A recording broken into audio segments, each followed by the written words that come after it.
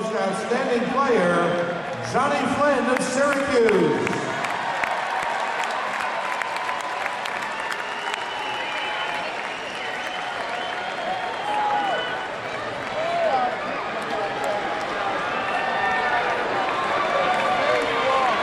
The Big East Conference would like to extend a special thank you to all of our fans for supporting Big East basketball at Madison Square Garden.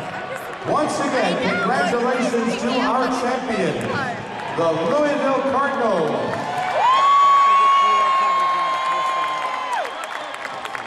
Ladies